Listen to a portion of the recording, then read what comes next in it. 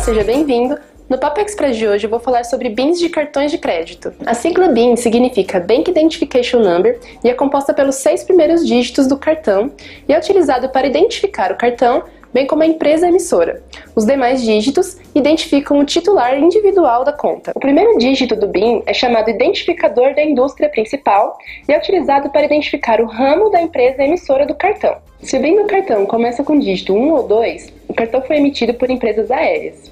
Se o dígito inicial for 3, são companhias de entretenimento e viagens. 4 e 5, que são os mais comuns, identificam cartões emitidos por instituições financeiras. Dígito 6 identifica cartões emitidos por bancos ou cartões próprios de varejo. Dígito 7 identifica cartões emitidos por companhias de petróleo. Dígito 8, companhias de telecomunicações. E dígito 9 identificam cartões emitidos por instituições do governo.